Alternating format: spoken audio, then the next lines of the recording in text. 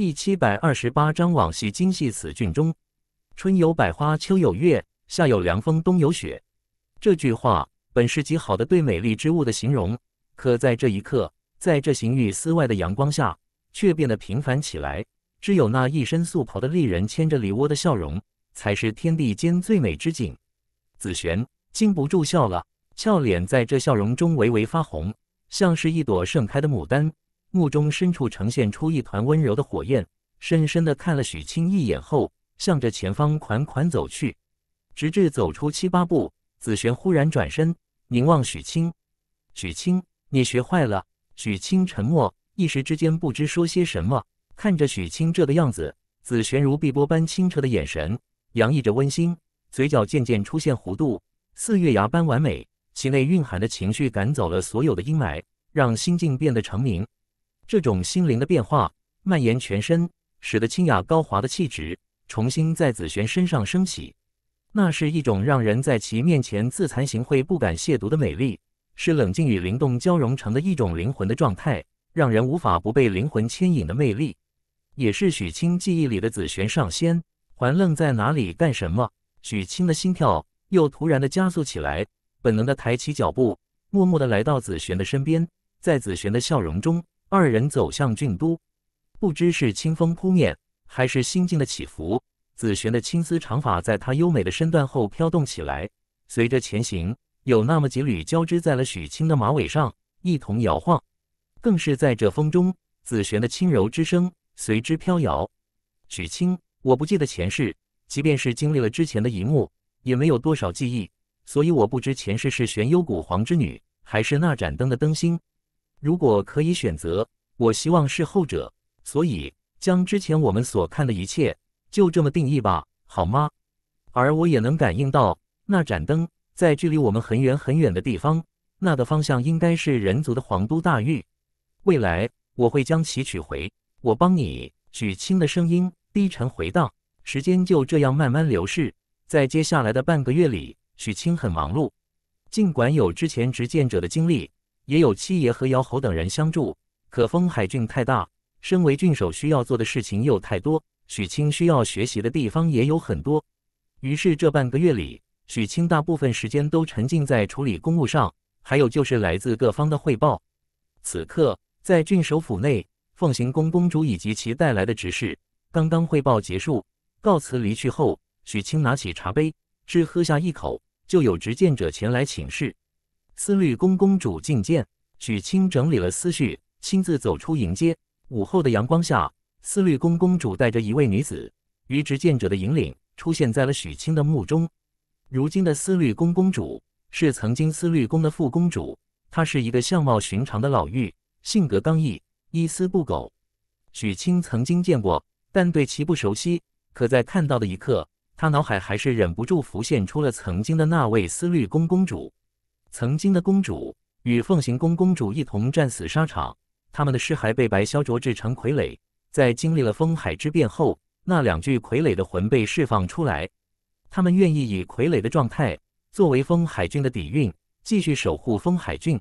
许清心底感慨，神色肃然。向着走来的思虑宫公主一拜，哪怕自身修为之事灵藏，可身为郡守，这一拜对于思虑宫公主来说，代表了足够的尊重。他看见后，快走几步，同样一拜，见过郡守，请。许清客气开口。当先走入大殿，坐下的一刻，他的身上自然而然地出现了一抹威严与从容，目有星光，自蕴神威。这是身为郡守的尊贵。但不是每个人都可以具备，而在许清身上看不到太多刻意的成分。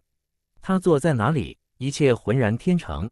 许清自然不是天生具备，之所以这般，是因霁月大狱之行带给许清的认知以及收获。与多个运神接触的经历，很少有人能及，更不用说将他们解救之事，以及身为逆月殿之主，参与神子战，参与赤母之战，屠过神的人。又岂能不惧从容？思虑宫公主心中也在吃惊。这是半个月中，她第一次单独面见许清。原本心中多少存在一些变化，可如今看到许清的平静，他若有所思，将一切思绪都压下，沉声汇报关于思律宫的工作。许清听得很认真，直至许久，思律宫公主汇报结束，许清对于思律宫的了解也更为透彻。郡守，接下来关于新晋名单，请审阅。思律宫公主说完，看了眼身边的女子，这女子正是姚云慧。她如今已是思律宫的执事，更深得公主重用，所以这一次随同对方来此拜见郡守，全程他都很是紧张，更有复杂。一方面是因他与许清不陌生，甚至许清来到丰海郡都的第一个矛盾就是由他引起，而世事难料，他做梦也无法想到丰海郡后续的事情，竟使得许清这里一飞冲天到了他仰望的程度。同时，对于许清这里的复杂。他也是心底无限波澜，实在是他自己也不知为什么，每次想到许清时，心底都会忍不住多想想他的好。这些年早已根深蒂固。此刻听到公主的话语后，姚云慧深吸口气，努力压下心底的波动，恭敬的上前，将一枚玉简双手递给许清。许清抬头，目光落在姚云慧身上。今天的姚云慧明显在妆容上有过准备。一绺净丽的黑发飞瀑般飘洒下来，弯弯的柳眉，秀挺的琼鼻，粉腮微微泛红，滴水樱桃般的樱唇，无不透出诱惑。如花般的瓜子脸，晶莹如玉，嫩滑的雪肌如冰似雪。偏偏她神情严肃，一身代表了严肃与公正的丝绿宫黑白双色道袍，更添几分庄重。但也是如此，反差感就越大。道袍在她的身上，因其身姿的难掩，竟有了一些禁忌之美。可许清不为所动，抬手接过玉简，审视扫过，查看起来。姚云慧心底更复杂了，看着眼前的许清，他的脑子有些乱。他的心思，许清不懂。他此刻关注的是这玉简名单，此名单里面是这几年加入思律宫的修士，每个月固定三十人，来自各方宗门，也有一些是思律宫培养。丰海郡的三公在征招上具备自主权。但最终还是要给郡守过目。扫了一圈后，许清正要放下，但很快他心底轻疑一声，注意到一年前有一个月份加入思律宫的不是三十人，而是二十九，尤其是里面还有一个许清熟悉的名字丁雪。去年七月少了一人。许清抬头看向姚云慧，姚云慧闻言连忙收起心底的复杂，回忆一番，想起了缘由，记起里面有七血同的人。所以对许清问询的原因有所明白，知是想起少人之事，他神色不由古怪，低声开口：“郡守大人，去年七月原本也是三十人，其中有一人叫赵忠恒，此人原本也可通过，但他为了与一个叫做丁雪的女修同处一个部分，公然行贿主管，未遂。此事被那个丁雪举报，进而赵忠恒被取消资格，如今还在考核期。”许清摇头。他之前看到丁雪的名字时，就想起了赵忠恒。此刻听到原因，竟然是被丁雪举报。许清对于赵忠恒满是同情，但这种事他自然不会干涉，于是将玉简递回姚云慧，又与思律宫公主交谈一番。一炷香后，思律宫公主起身离去，许清亲自送出。在大殿外，跟随在思律宫公主身边的姚云慧走远之后，忍不住回头。看了眼大殿的方向，许清修长的身影站在哪里，与青天相应，于他目中化作永恒。之后的日子，许清的工作总算少了一些，他也终于有时间与故人叙旧。第一个去见的正是张三。以郡都的热闹和繁华，具备生意头脑的张三自然不会不来。这几年，他借助七血同口岸的收益，在这郡都也都开了几家非洲店。七血同的非洲。早已改良，分成了两个版本，一个是自家弟子修行使用，另一个则是卖给外人作为法器。因七爷和许清的身份，七血童的非洲在郡都以及其他州的销量很可观，所以这郡都的店铺也都火爆。对于许清的到来，张三极为兴奋，可难免拘谨，迎着许清去了后院。直至一番叙旧之后，张三的拘谨才缓了一些，可却无法消散。实在是这大半个月，他做梦都会笑醒。当年的投资早已不知暴涨了多少。俊，许清师兄，前几天队长也来了，后面又走了，还带着一个大美女。张三搓着手，低声开口。许清笑了笑，这段时间队长不见踪影，他用脚趾头都可以想到，对方必定和李师逃在一起，想来是很愉悦的。而看到张三的样子，许清索性如当年般蹲在对方身边。张三身体一震，望着许清，随后拿出烟袋，狠狠地吸了一大口，吐出烟雾后，他感慨万分。一息间，似乎在这烟雾里看到了在七雪同时那个跟随在队长身边、小心翼翼走来的少年。想不到啊，真的想不到。第七百二十九章主歪我烟雾袅袅，张三在内看到了曾经的少年许清，在那烟雾里看到了尸山血海，而烟雾慢慢散去，二人目光对望，许清笑了，张三一样笑了。他将烟袋在地面上敲了敲，落下满地燃烧后的烟土灰。这一次我帮你练什么？张三问道。许清挥手将自己法剑小瓶取出，放在了张三的面前。这些年来，法剑他已经很少用了。因修为的提升，这法剑已成积了。但许清不想放弃，所以这一次他找张三，除了叙旧，还有就是想让其帮忙将法剑进行一次大的改造。张三目光落在法剑上，不需要许清开口，透过小屏去看，他就知道这法剑几乎没有被使用过，也明白了许清的想法，于是目中露出奇异之芒。大意。许清点头，张三顿时兴奋，搓了搓手，沉思一番：“我一个人做不到，我需要将七雪同第六峰的那些老手艺人都喊来，也不够，还需要阵法。许清，给你炼制大义，此事可能需要七血同全宗之力配合，如此才够。此事对别人来说极难，但对你而言，只需要一句话，而大义的动力源才是关键。如能放入一个法宝，那就好了。”如果能用神性生物的血肉，就更完美。张三说着，抽了一口烟。许清忽然取出一片羽毛，放在了张三的面前。这羽毛一出，其内神灵的浩瀚之威在内轰然爆发。好在许清早有准备，所以波及不大，可依旧让四周模糊，出现扭曲。张三眼睛猛地睁大，口中的烟将自身呛到，手里的烟袋都没拿稳，咣当一声掉在地上。他整个人头皮都要裂开，心中百万天雷轰隆隆的炸裂。他见过神性生物的血肉，且不止一次，甚至巨婴血肉他都见过。可这一片羽毛内蕴含的恐怖，是他这一生都没遇到过的。与其曾经比较，他以前看到的那些瞬间都成为了垃圾，与这羽毛好似萤火和皓月一般。这这，张三颤抖哆嗦起来，咳嗽了好久，无法置信地看着那两片羽毛。又艰难的抬头，这是神灵的血肉。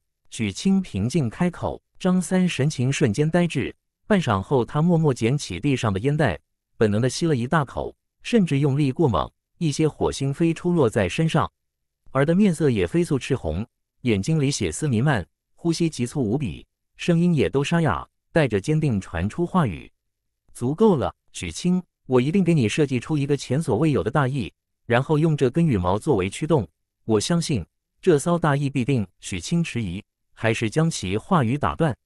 张三师兄，我的意思是，你按照这羽毛的气息去设计大义。至于动力源，不是这片羽毛。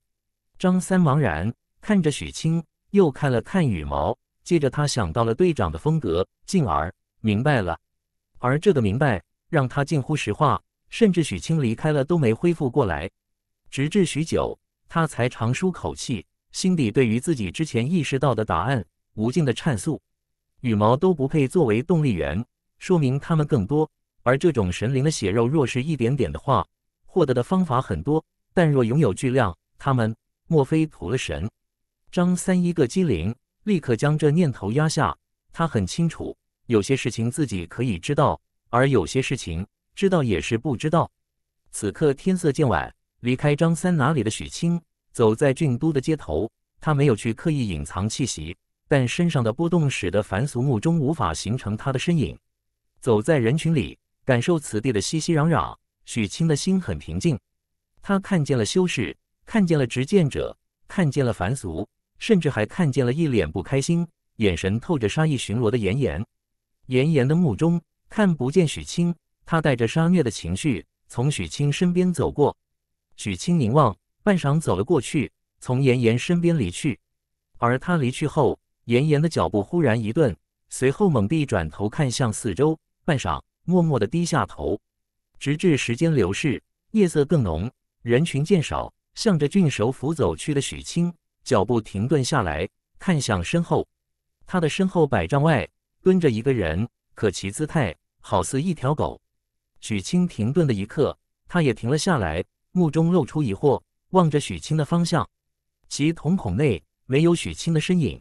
但他可以感知许清的气息，这是他的天赋，所以他虽然看不见，可还是一路跟随，直至此刻，他感受到那股气息消失了，这让他的情绪低落，默默地蹲在哪里，如被遗弃。但在他的身边，许清站在哪里，望着眼前之人，此人是小哑巴。许清早就感知到了对方，也一眼看出其修为到了三团命火的程度，甚至法窍开的不少。距离第四团命火只差两个，这种资质放在任何一个宗门都已经算是天骄中的天骄了。而其身上众多的伤势也足以说明这一切是他自己拼杀出来。再加上他的天赋，能感知到别人感知不到之物，这一切就使得小哑巴必定未来不俗。你随时可以升起天宫了。许清平静开口，他的话语回荡空旷的街头。小哑巴听到后，身体一震，立刻跪拜下来，不断地磕头，每一下都很用力，直至一股柔和之劲将其扶起。小哑巴这才停下，他凭着感应，面向许清的方位，目中露出崇敬，抬起五根手指。许清看懂了，小哑巴这是在说，他要开五团命火，他要走许清走过的路。许清点头，他愿意看到七血瞳内有人走在自己走过的路上。可这条路很艰难，于是许清沉吟后转身离去，但却有一枚玉佩凭空的出现在了小哑巴的面前，伴随着许清的声音回荡在小哑巴的心神：“你最后一个法窍可持此玉佩，去海狮族岛屿，在生死之间开启。如你成功点燃五团命火，形成天宫，那么可去行玉司，做一个族子。”小哑巴身体一震，接住玉佩，用力的握住，抬头望着远处。他目中越发坚定，他崇拜许清，这些年始终如此，所以他想走许清的路，想要获得许清的认可，能跟随在其身边。尤其是他感知到当初自己所看在许清影子里的那个可怕的存在，他如今更恐怖了，但却不那么可怕，因为他的目光时刻望着许清，敬畏与哀求是目光中蕴含的全部情绪。许清回到了郡守府，坐在阁楼内。望着夜空，四周很安静，风将他的马尾末端发丝微微飘动，如他此刻的心一样。故人似乎没那么多了，有些人走着走着就看不见了。许清闭上眼，这一天，他除了张三与小哑巴外，还看见了妍妍。妍妍成为了执剑者，许清没有与其见面，但他终于看出了妍妍病情的根源。在他的记忆里，妍妍的性格透着残虐。对自身如此，对敌人更如此，不断地虐杀以及自虐，似乎才可以让他开心。曾经，妍妍的奶奶告知过许清，说炎炎病了。那个时候，许清看不出答案。如今他知道了，炎炎是他这些年所见过的人里唯一一个身体内没有丝毫异质之辈。除了炎炎之外，其他人哪怕看似没有，可实际上是被清除。时间长了，还是会出现。与炎炎不一样，炎炎的身体似乎从来就没有过意志，因为他的意志融入到了灵魂中，他的灵魂被严重的污染，这使得她癫狂、变态、自虐，且可以想象，随着时间的流逝，随着她长大，会越来越疯癫。这也是其祖母溺爱的原因。他知道自己这个孙女活不久，但经历了祭月之事后，在许清的墓中，妍妍被严重污染的灵魂。本身也具备了一丝神性的特质，所以许清虽没见妍妍，但却将一片赤母的羽毛融在了妍妍的灵魂中，给他留下一句话，让他尝试借助羽毛之力修行。他很适合修神。许清睁开眼，看向银黄州的方向，哪里有一座鬼地山？七爷在三天前离开了，去了鬼地山。因为老三在哪里修炼，与其一同在哪里修炼的，还有当初那个小男孩。思绪随着风的吹过，不断地蔓延。许清想了很多往事，很多故人，比如青丘，他也在迎黄州。最终，许清遥望南黄州，风在这一刻停顿下来，许清的思绪与目光一同收回，淡淡开口：“自从获得赤母血肉后，你就这么哀求的望着我，尤其是由林子被我师尊带走，你的目光更强烈，所以你想吃。”许清话语一出，月光下，他的影子立刻起了波澜，飞速的蔓延四周，从内升起一口漆黑的棺椁。上面长满了眼睛，每一只眼睛都透着敬畏与哀求之意，更有断断续续的情绪波动在许清心中回荡。主歪我痴痴强我祭献神火第七百三十章无暗明空神火。许清目光一凝，看向地面的影子，在他的目光中，影子颤抖了几下，小心翼翼地传递情绪波动。火轰轰轰！许清沉默。他有点想念金刚宗老祖了，实在是影子这里的情绪波动，有时候可以被理解，但更多的时候很难被准确知晓含义。而神火这两个字太过敏感，按照许清在祭月大狱的理解，那是一种成神的必经之路，唯有将神火点燃，才算成神。如赤母，如神子，走的都是这条路。不过前者成功，后者神火最终没有彻底点燃，焚烧了自身，所以。从影子哪里听到“神火”二字后，许清内心波动。你可以形成神火？许清问了一句。影子先是点头，又是摇头，最终自己也都急了。索性，轰轰轰！许清皱起眉头，沉吟后抬手将四周布置一番，随后取出一片赤母的血肉羽毛。望着羽毛，影子兴奋，在地面翻腾，仿佛将这阁楼的地砖化作了黑色的泥潭。察觉影子的情绪后。许清挥手将羽毛扔出，没等落地，影子迫不可待地从地面升起，张开大口，瞬间就将羽毛吞噬。他的身躯如一个能吞噬一切的黑洞，眨眼间羽毛就不见踪迹，而影子也在这一刻剧烈颤抖，不断地向外膨胀开来。许清全程关注，直至半个时辰后，影子的波动慢慢减少，最终平稳下来，从八方收缩，回到许清脚下时。其内传出影子无比渴望的情绪，好吃，吞药。许清目中露出思索，查看了一下自己剩下的赤母血肉后，他忍着心疼，取出拳头大小的一块。这么一大块，立刻就让影子哪里兴奋到了极致，从地面形成一道道影刺，不断上下起伏间，所有的眼睛里都露出激动，更有大口张开，传出吞咽口水的声音，甚至为了吃下这块肉。影子还形成一条银尾，在地面摆出摇晃的样子，如小狗一样。也不知这是他从曾经夺舍的哪个人意识里看到的知识，作用还是有的。许清扫了眼地面摇晃的银尾，将手里的血肉扔给了影子。刹那间，所有的影刺直奔血肉而去，顷刻将其笼罩。紧接着，吞咽之声回荡，影子的波动更是超出之前，如沸腾一般，正在爆发。但显然，这么一大块。对他而言有些难以承受，所以很快他的身躯不稳，直至轰的一声，影子的身躯直接崩溃，如摔在地上的墨台，四分五裂，成了数百份。被吞下去的赤母血肉也从其体内脱落出来，可眨眼间碎成数百份的影子，如一条条饥饿的野狗，于八方向着血肉飞速汇聚，再次笼罩，继续吞噬，又继续崩溃，就这样周而复始。影子的执着在这一刻表现得淋漓尽致，直至远处天幕微亮。在经历了一夜之后，影子不知碎裂了多少次，终于将那块血肉一点点的吞了下去，身躯勉强维持，不再碎裂。而他的心还不满足，此刻一边保持身躯不裂，一边努力向着许清散出讨好的情绪波动。主乖，我要吞了一整块，也没什么变化，要你何用？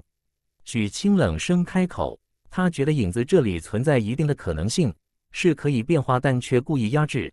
这个猜测让许清心底不悦，于是就要催发紫色水晶，看看能不能将影子吞下之物给砸出来，同时威慑一下。察觉许清身上出现紫光，影子顿时哆嗦，飞快地散出求饶的情绪：“不要，不吃，禁区可以。”许清没理会，直接镇压。瞬间，紫光从许清体内散出，落在影子身上，哀嚎传出，影子崩溃，那块被吃了一半的血肉掉了出来。许清抬手隔空抓起，影子颤抖，眼巴巴地望着许清将自己的食物拿走。他明显急了，环绕许清飞速转动，形成一个黑色的漩涡。吞吞，轰轰轰！我强大有用。影子赶紧表达。许清冷眼看去，不需要额外的血肉了。不，禁区可。影子小心翼翼地传递情绪。许清没有继续开口。他回忆影子之前的几次攀升，都是与意志有关。而一直这里除了血肉上存在外，任何一个禁区都有不少。于是出于对影子晋升的需求，以及对其所说“神火”二字的猜测，许清身体刹那间消失在了阁楼内，出现时已在郡都之外。他身影没有半点停顿，显露后向前一步走去，大地在其脚下似乎缩小，每一步落下都是一大片区域。规则与法则在灵藏修士的身上已经可以初步体现出来。就这样，一个时辰后，许清已离开了郡都地界，出现在了临近之州。此州名为领土，是封海郡内最小的一个州，因其内存在多处领土禁区而得名。此灵不是灵气之意，而是亡灵。那片禁区是亡灵与诡异的乐园。寻常修士踏入边缘还好，若是进入深处，九死一生。唯有修为到了元婴后，配合一定的运气，才有生还的可能。更是鬼房之舟的必经之路。许清来到这里时，就看到了鬼房之舟。虽如今天色还是白日，但远处黑云弥漫，苍穹渐渐漆黑，一片雾气翻腾，将天幕笼罩，使得光芒渐少，阴冷之意蔓延八方。一艘破败巨大的鬼舟，在那雾气里若隐若现，正在苍穹前行。凝望这鬼房之舟，许清神色如常。他已不是当年的修为，更不是当年的身份。身为郡守，在这风海郡内，他有气运可以调动。对于这艘曾坐过的鬼舟，也没有太多探寻地好奇。而那艘鬼舟也对许清送出了尊重。在察觉许清的身影后，鬼舟的雾气凝固，此舟上升腾大量鬼影，漂浮在外，向着许清这里一拜。许清点头，与其交错而过，前往领土禁区。他身影远去后，天幕雾气再次翻腾，鬼舟继续前行。很快消失，而苍穹也重新明亮。一炷香后，随着许清的前行，一处领土禁区遥遥在目。整个领土州一共存在了十三处领土禁区，每一处都很是古老，经历了无尽岁月。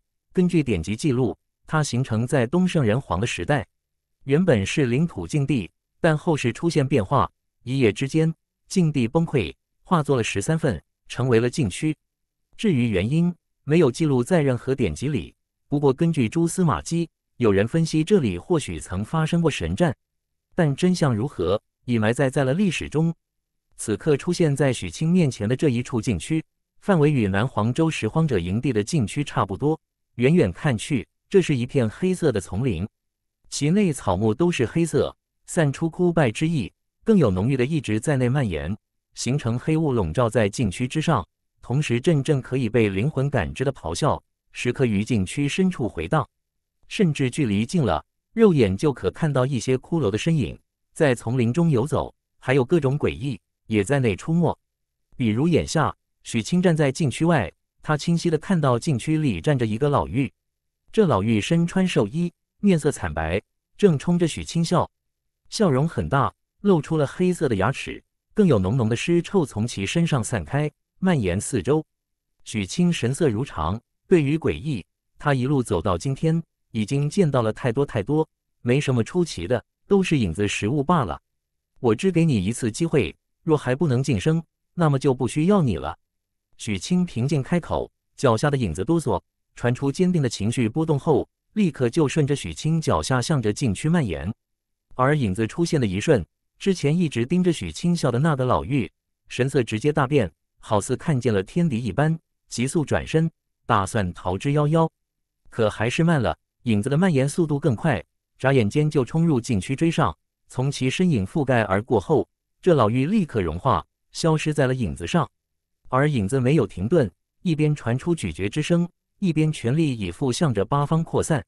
许清没有跟随，他站在禁区外，借助与影子之间冥冥的联系，感知影子的每一步行动。渐渐，他表情露出奇异，慢慢化作了惊讶，最终心神一震。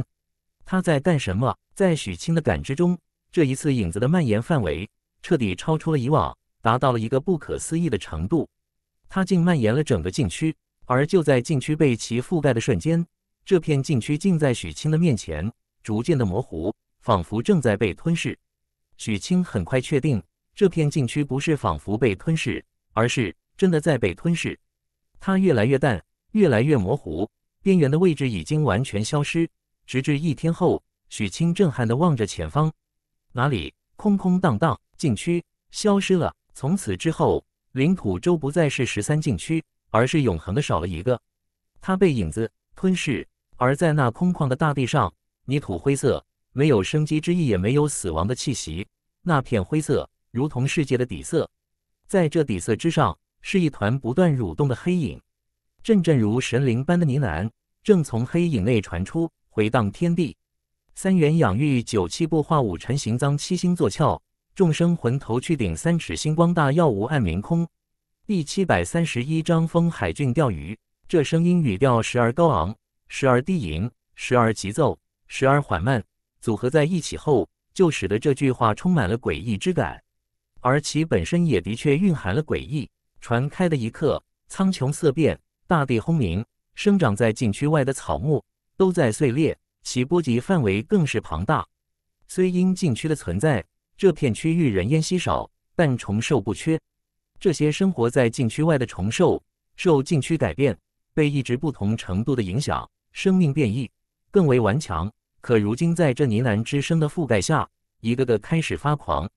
放眼看去，各种各类数不清的虫兽纷纷从地面从八方涌现，环绕在了许清四周。口中传出嘶鸣，密密麻麻，触目惊心。许清神色如常，目光从四周这些虫兽上扫过，在他们身上，许清感受到了被控制的痕迹，那是影子的能力之一。只不过如今范围更大，可以控制的数量更多。最重要的是，不再局限于影子融入，凭着那男之声就能操控吞噬禁区。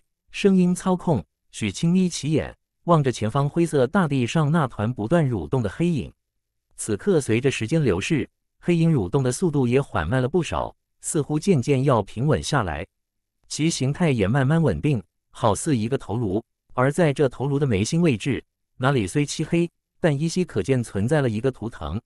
这图腾的形状竟与之前被影子吞噬的禁区一模一样。不是图腾，这是许清内心一动。凝神仔细观察影子眉心，很快他就确定了之前的猜测。眉心之物的确不是图腾，那是禁区，被影子吞噬的禁区。它出现在了影子的眉心内，与其成为了一体。这个发现让许清心底更为奇异，而更让他瞳孔收缩的是，在这缩小了无数倍的禁区里，其中心之处哪里藏着一棵与众不同之树？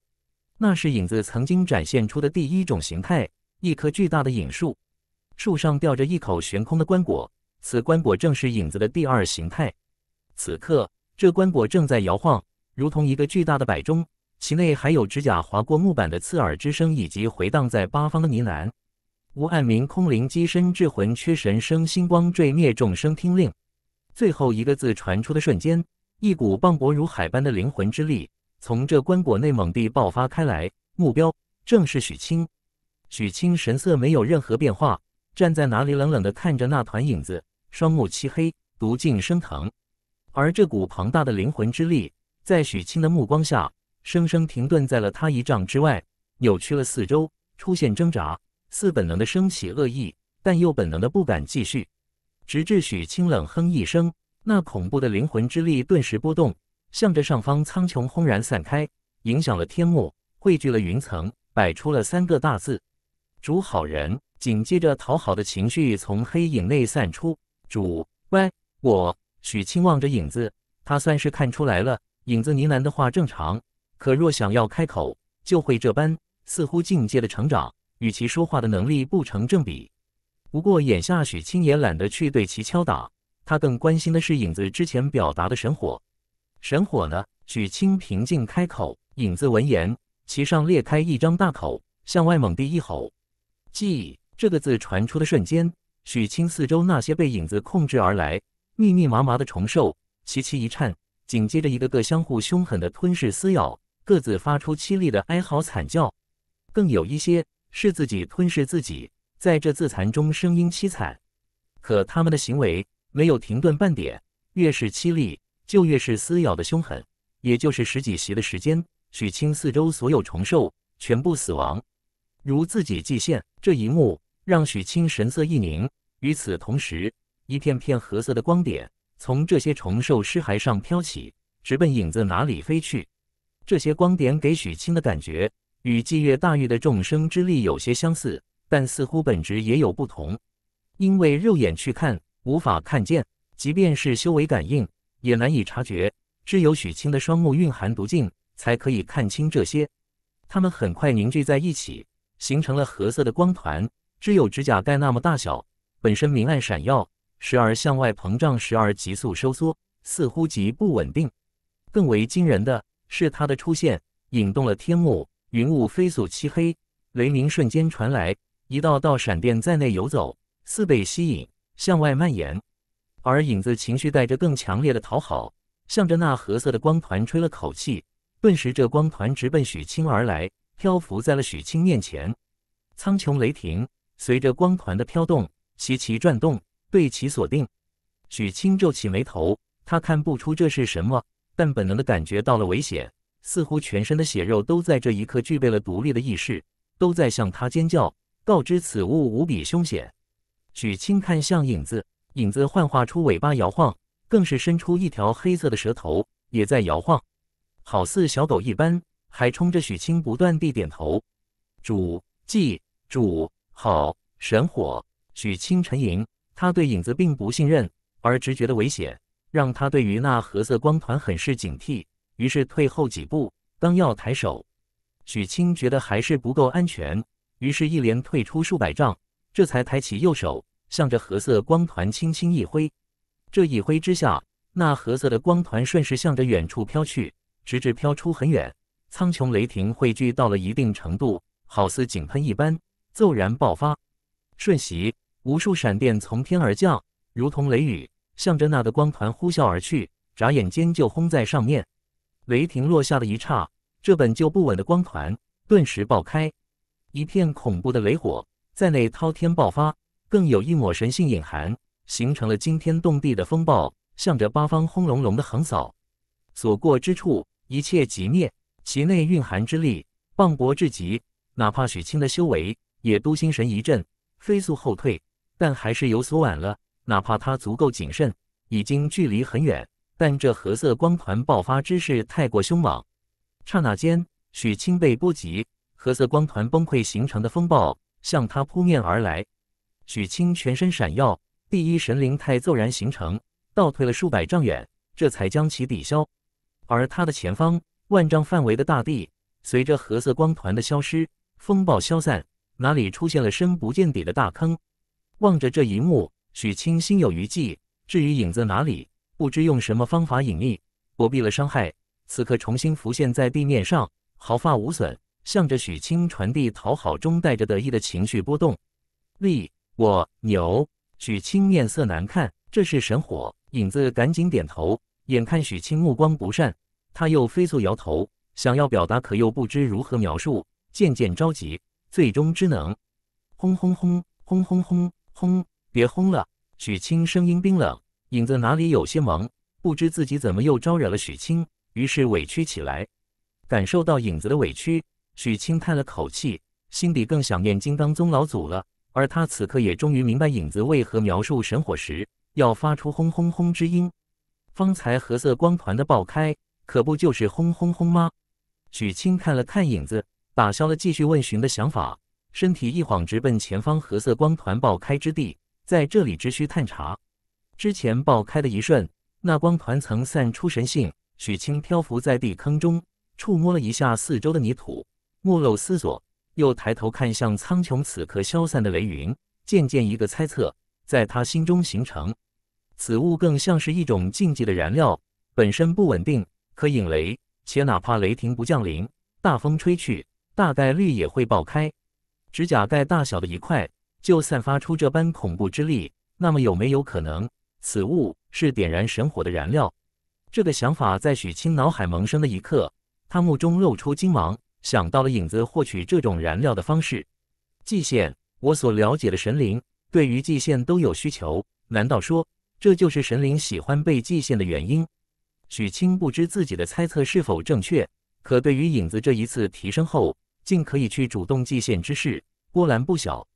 先是控制，然后强行去祭献。许清看向影子，影子散出得意的情绪。我有用。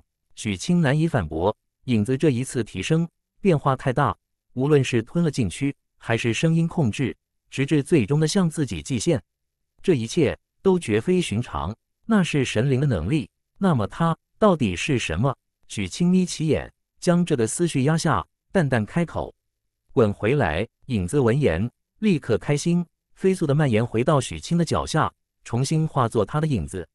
许清收回目光，不再开口，身体一晃升空，向着风海郡都回归。此刻阳光正浓，许清在天空飞行，影子在大地前行，越来越大，与许清的身躯不成正比，最终化作了数千丈大小。其内眉心尽趋模糊，两边睁开两排血色双眼，嘴角更是裂开，传出无声的笑。如同魔神，若有人看见，必定对这一幕惊心不已。因为许清就是那个养魔神的人。时间流逝，有些事情该来终究还是会来。风海郡一系列的备战，其根本的原因就是七皇子以及天蓝王，他们如同利刃悬在风海郡修士的头顶。许清曾想过道出一切，安抚人心，但七爷与姚侯都委婉的阻止，他们再下一盘大棋。这盘棋虽他们没明说，但许清经历了这么多事情，早已看出了究竟。七爷和姚侯在钓鱼，今天第一条鱼上钩了。从黑天族前线传来消息，五批前往战场的风海郡修士，在经历了数次九死一生的战争任务后，并非全部死亡，还有一万多人活着。五百万风海修士，只有这一万多人存活，他们经历了多次生死。经历了痛苦与折磨，最终被当成了弃子。孔祥龙以及一些执剑者都在其中，而他们艰难地逃了出来，没有选择回归天蓝王大军，而是离开了战场。他们想要回风海郡，此事透着奇异，不符合逻辑，本身也有解释不通的地方，似有一双黑手在背后拨弄，推动这些幸存者的脚步去走指定的道路。可无论如何，传到风海郡的消息里。包含了一枚留影玉简，里面清晰地记录了他们疲惫不堪的身影，而他们在路上也遇到了天蓝王亲卫的追击，罪名无法辩解，临阵逃脱，如今被困在一处绝地，只能等死。风海郡将面临一场抉择，对于这些幸存者，救还是不救？如何处理？如何宣告？若救，那么就等于是坐实了态度；若不救，眼睁睁看着他们被制裁。风海郡人心将散，所以郑凯义、姚天燕，你们两个会如何选择呢？七皇子所在皇都内，原八宗联盟总盟陈阳子，在一张空空的棋盘上落下了第一子。按照我对你们行事风格的判断，你们是一定会去救的。可万里迢迢去救这些人，寻常之辈没有作用，去的人一定是强者，也必须是强者，一个怕是不够。那么去的人里，会不会有子璇呢？如果有，那么这请君入瓮既简单又顺利。陈阳子笑了笑，对于这围点打援，他其实不是很在乎。如果子璇在，自然最好；若子璇不在，那么此计就是调虎离山。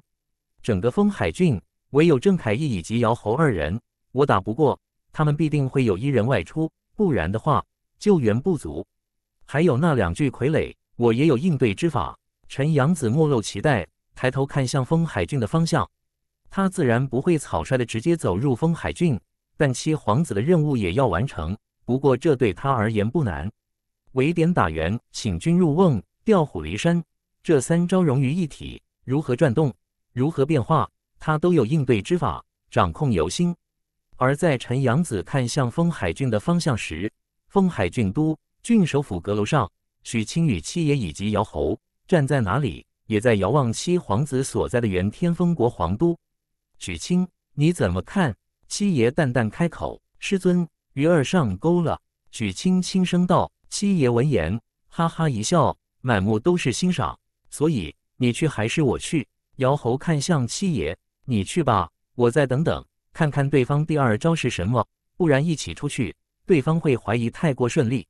记得带上傀儡，莫要大意。”七爷望着姚侯，姚侯点头。身为风海郡员高层中唯一的元老，他行事自有分寸，于是向前一步走出，下一瞬消失在了阁楼内。